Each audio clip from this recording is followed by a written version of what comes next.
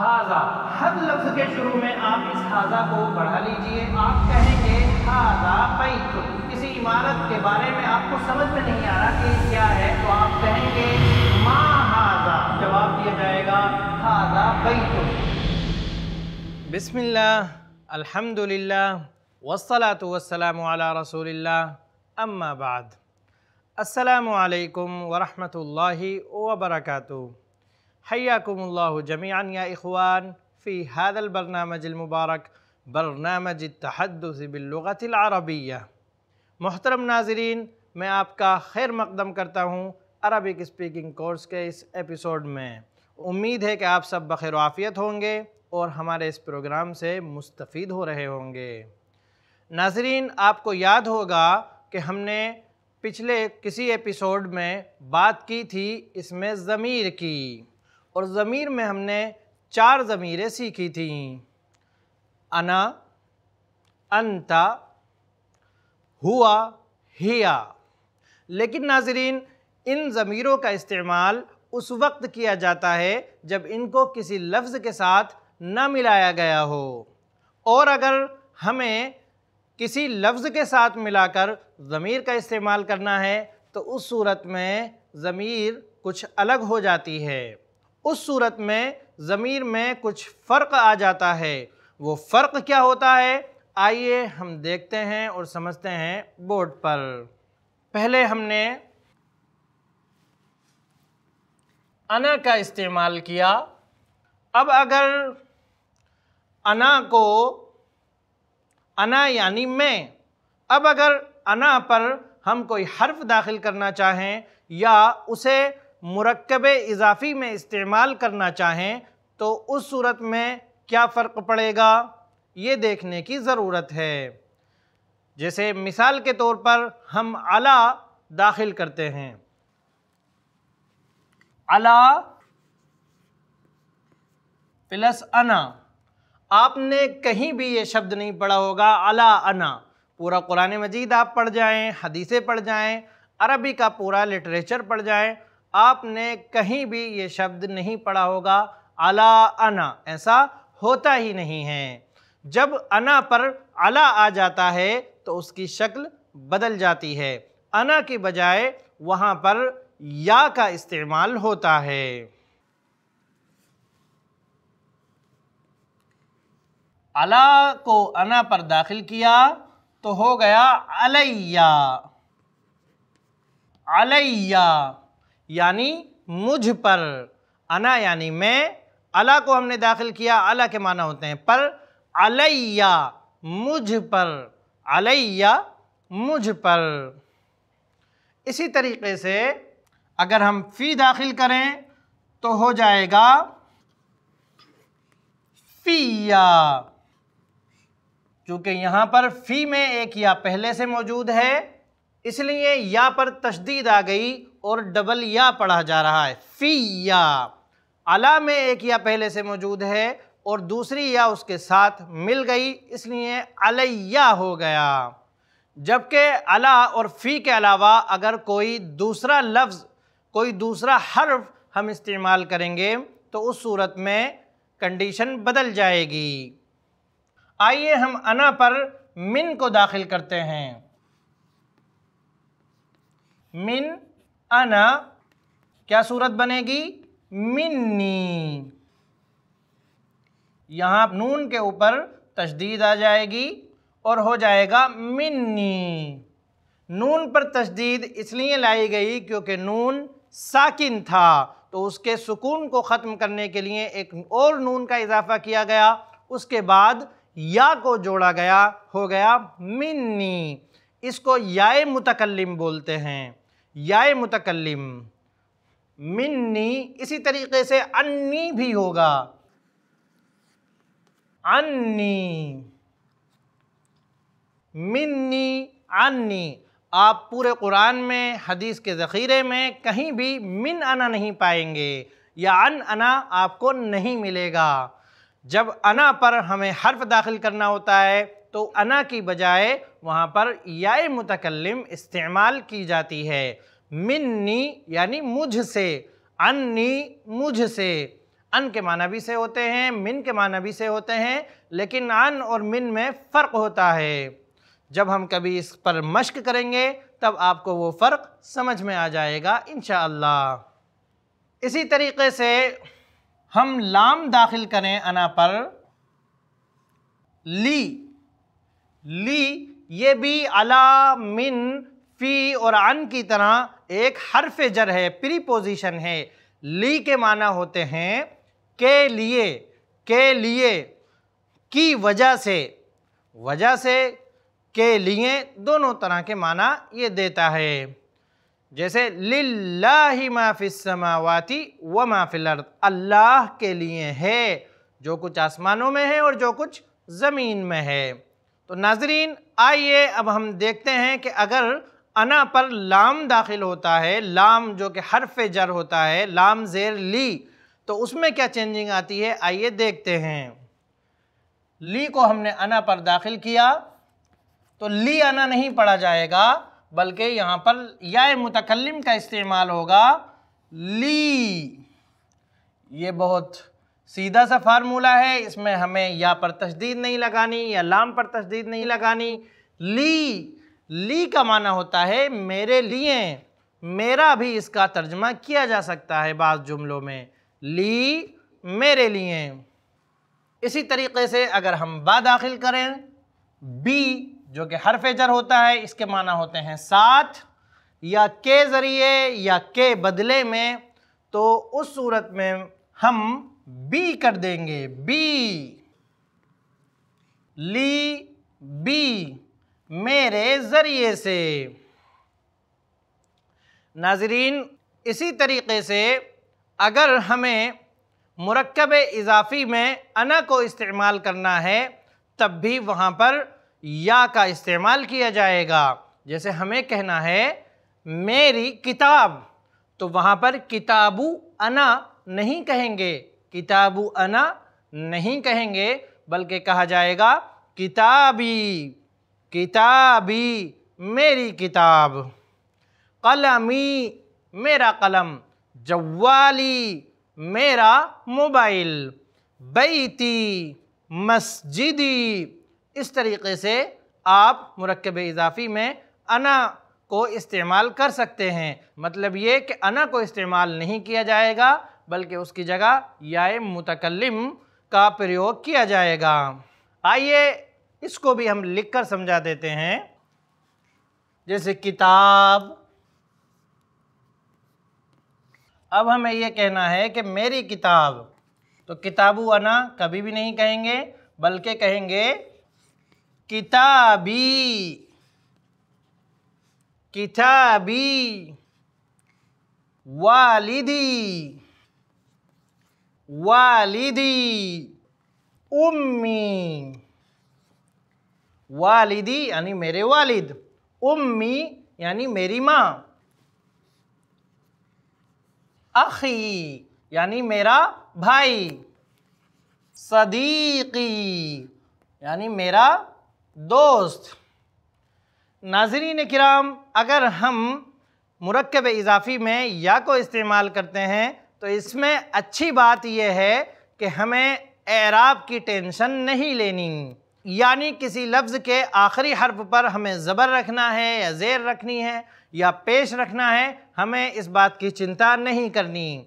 ये हर हाल में किताबी ही होगा, चाहे इस पर कोई हरफ जर आए या ना आए, हमेशा किताबी ही रहेगा। अगर हमें ये कहना हो, ये मेरी किताब है तो हम कहेंगे, हाजा किताबी। और अगर हमें ये कहना हो कि कलम मेरी किताब पर है, तब भी हम यही कहेंगे, अलकलम वाला किताबी। किताबी तो बी बी ही रहेगा, उसमें कोई तब्दीली नहीं आएगी। नाजरीन कराम, ये थी कुछ वजाहत अना के ताल्लुक़ से कि अना को अगर किसी दूसरे लफ्ज़ के साथ मिलाया जाए तो वो या से बदल जाता है। अब आइए हम बात करते हैं अंता की। अंता। नाजरीन कराम आइए अब हम ये देखते हैं कि अंता को जब किसी दूसरे लफ्ज़ से जोड़ा जाएगा, उससे पहले कोई हर्फ आएगा या कोई इसम आएगा, उसमें उसकी इजाफ़त की जा रही होगी तो उस सूरत में अंता का क्या अंजाम होता है? आइए हम देखते हैं बोर्ड पर। अंता के माना होते हैं तू, या तुम या आप, हम कुछ भी कह सकते हैं। अंता एक शख्स के लिए बोला जाता है। अगर हमारे सामने कोई एक शख्स है तो उस वक्त हम कहेंगे, अंता। अंता। अगर मर्द है तो अंता कहेंगे, और अगर कोई लेडी है तो हम कहेंगे, अंती। इस बात को जहन नशीन कर लें। ये पहली बार बताई जा रही है। अंता। अंती। अंता। अंती। हमारे सामने कोई मर्द है, अंता कहेंगे। कोई खातून है तो अंती कहेंगे। अब आइए हम देखते हैं कि अगर इस पर अला दाखिल कर दिया जाए मिसाल के तौर पर तो इसमें क्या चेंजिंग आती है?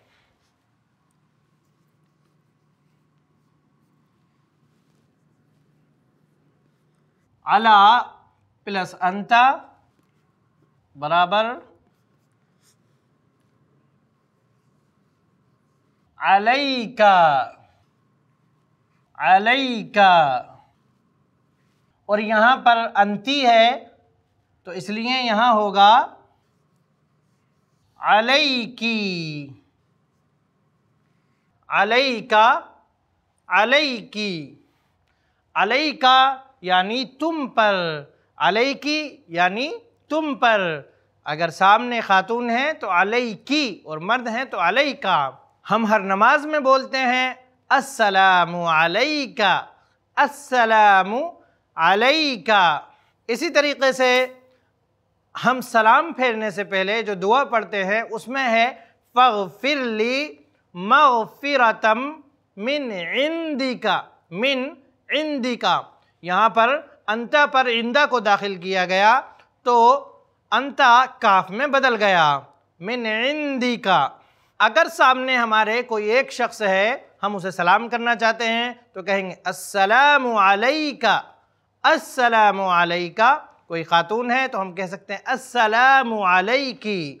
लेकिन चूँकि हमारे यहाँ अरबी जानने वाले लोग बहुत ही कम हैं, इसलिए हर किसी को जब सलाम किया जाता है तो अस्सलामु अलैकुम ही बोला जाता है। अस्सलामु अलैकुम। कुम के क्या माना है? इस पर फिर कभी हम बात करेंगे इन खैर तो अलई का यानी तुम पर अलई की इसके माना भी तुम पर। इसी तरीके से फ़ी का, फ़ी की, फ़ी का यानी तुम में, फ़ी की यानी तुम में। बी का, बी की। इसमें याय मुतकलम की तरह बहुत ज़्यादा उलझाव नहीं है। इसमें हर वक्त का और की ही रहेगा। आइए हम मरकब इजाफ़ी में अंता को कैसे इस्तेमाल किया जाता है, ये भी समझ लेते हैं। अगर हमें ये कहना है, तुम्हारी किताब तो हम कैसे कहेंगे, किताबु अंता? नहीं, हम कहेंगे किताबू का किताबू का कलमू का जवालू का सातु का बैतु का का दैफु का दैफुन यानी मेहमान दैफुन यानी मेहमान दैफु का इसमु का इसमु का अगर हमें किसी से पूछना है आपका नाम क्या है तो हम कहेंगे मसमु का इसमुन में जो अलिफ है, ये उस वक्त गिर जाता है जब हम इसम को किसी दूसरे लफ्ज़ से मिलाकर बोलते हैं। जैसे, बिस्मिल्लाह, अल्लाह के नाम से तो यहाँ पर भी अलिफ गिर गया। इसी तरीके से जब हम इसमुका से पहले माँ लगाएँगे तो यहाँ पर अलिफ गिर जाएगा, मसमु का हो जाएगा। मसमु का आपका क्या नाम है? वॉट इज़ योर नेम मसमु का आपका क्या नाम है? तो देखा आपने, यहाँ पर हमने अंत को इस्तेमाल नहीं किया, बल्कि अंत के बजाय काफ लाया गया। इसमु का तुम्हारा नाम मस मसमु का तुम्हारा नाम क्या है? फिर अगर आपको इसका जवाब देना है तो कहा जाएगा इसमी, जैसा कि इससे पहले बताया जा चुका है। इसम के बाद यह आ जाएगी, इसमी अताउर्रहमान मेरा नाम अताउर्रहमान है। इसमी हामिद, इसमी खालिद। इस तरीके से आप अपना नाम बता सकते हैं। नाजरीन, मैं समझता हूँ एक मिसाल को लिखना काफ़ी होगा। आइए अब हम आगे बढ़ते हैं। इसी तरीके से अगर हमारे सामने कोई ख़ातून है और उससे हमें पूछना है कि आपका नाम क्या है तो काफ के नीचे हम ज़ेर लगा देंगे। मसमू की मसमू की इसी तरीके से अगर हमें पूछना है, मा अमलू की यानी आपका वर्क क्या है? आप काम क्या करते हैं? तो हम कहेंगे, मा अमलू का आपका काम क्या है? मा अमलू का मा अमलू की तो नाजरीन कराम, अगर हमें अंता को मिलाकर इस्तेमाल करना है, उससे पहले उस पर कोई लफ्ज़ दाखिल करना है या उसे किसी लफ्ज़ से जोड़ना है तो उस सूरत में हम अंता को काफ में चेंज कर देंगे। आइए इसी तरीके से हम हुआ को भी समझते हैं। हुआ, यानी वो। हुआ, यानी वो। देखिए, एक होता है जालिका। जालिका के माना भी वो होते हैं और हुआ के माना भी वो होते हैं, लेकिन दोनों में फ़र्क है। हुआ, इसके माना होते हैं ही, इट। इंग्लिश में अगर हम समझें तो ही और इट, ये ज़मीर है, प्रोनाउन है। और जालिका, ये किसी चीज़ की तरफ़ इशारा करने के लिए आता है। जालिका कुर्सीयुन जालिका रजुल that that is a man that is a chair इस तरीके से हम जालिका और हुआ के फ़र्क को समझ सकते हैं। तो हुआ पर अगर हमें अला दाखिल करना है मिसाल के तौर पर, या बी, या ली तो उस सूरत में हुआ में क्या चेंजिंग आती है, आइए हम देखते हैं। अला हुआ बराबर अलैहि अलैहि अलैहि यानी उस पर हुआ यानी वो, अलैहि, अला यानी पर, अलैहि उस पर। इसी तरीके से इस पर बा दाखिल करेंगे तो हो जाएगा बिही बिही। मिन दाखिल करेंगे तो हो जाएगा मिन हु। मिन हु कभी ये हु हो जाता है, यानी हा पर सिर्फ़ एक पेश, और कभी ये हु हो जाता है, यानी इसको थोड़ा खींच कर पढ़ते हैं। और कभी ये बिही हो जाता है, खींच कर पढ़ते हैं तो कभी ये सिर्फ़ ही हो जाता है, अलई ही। मिन हु, बिही, लहू। उल्टा पेश। आपने देखा, आलई ही यहाँ पर ही को खींचा नहीं जा रहा अलई ही और यहाँ पर खींचा जा रहा है। बिही मिन हु, यहाँ पर हा को नहीं खींचा जा रहा मिन हु में, लहू इसमें खींचा जा रहा है। तो चारों तरीके से ये आता है। हर लफ्ज़ के साथ जब इसे जोड़ेंगे तो हर लफ्ज़ का हिसाब अलग अलग होता है। तो अलई ही यानी उस पर बिही यानी उसके ज़रिए, मिन हु उससे लहू उसके लिए, उसके वास्ते।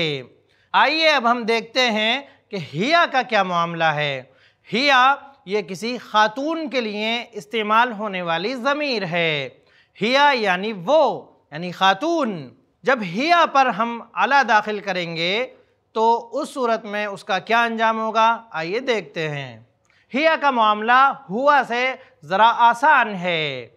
जब हिया पर अला या मिन या लाम दाखिल होगा तो उस सूरत में हिया, इस पर हमने अला दाखिल कर दिया, हो जाएगा अलैहा अलैहा। ये हर सूरत में हा ही रहेगा। और जब इसको अगले लफ्ज़ से मिलाकर पढ़ेंगे तो अलैहा का जो अलिफ है, उसको गिराया भी जा सकता है। अलैहा, बिहा, मिनहा, अनहा, लहा। लहा यानी उस औरत के लिए, बिहा उस औरत के ज़रिए, मिनहा उस औरत से। औरत आप जहन में रखें, कहने की ज़रूरत नहीं है, मिनहा उससे और लहा उसके लिए। आइए अब हम देखते हैं मुरक्ब इजाफ़ी में हुआ और हिया को किस तरीके से इस्तेमाल किया जाता है।